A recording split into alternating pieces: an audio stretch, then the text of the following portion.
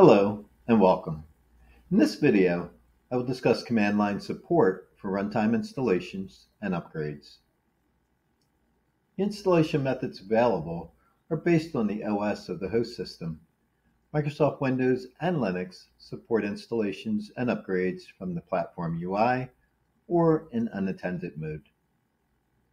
In addition to the methods supported by both operating systems, Linux supports console mode as well as a Boomi supplied Docker image.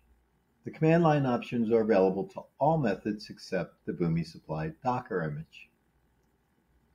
The Boomi Runtime Installer and Upgrader are based on Install4j, a multi-platform Java installer builder from EJ Technologies.